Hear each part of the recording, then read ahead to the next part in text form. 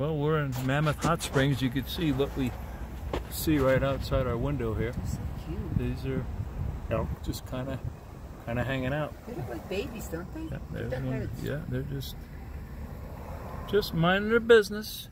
Pull up so you can see the one Yeah, laying down. uh, the one laying down. Pull up a little bit. They look like babies. Yeah, we're about five five miles from campground. Oh, Yeah, I don't think that's no baby.